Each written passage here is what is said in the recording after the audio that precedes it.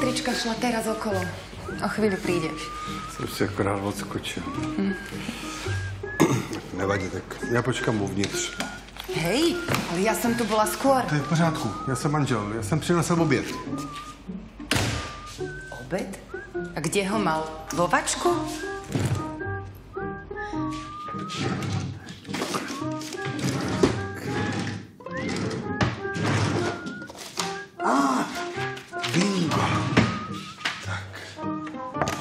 Ještě večer.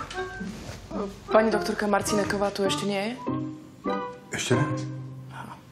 A vy ste kto? Já? A čo tu vlastne robíte? Myslím, že by ste tu vôbec nemali byť. No já tady čekám na sestřičku. Ty čo tu robíš? Já tady čekám na Dášu.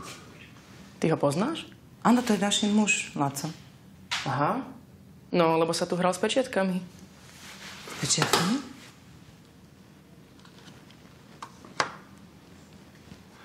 no dobře, no, tak jedeme na chalupu a já jsem dostal dovolenou. Tak jsem si chtěl tady orazit pénku. Ale z ginekologie?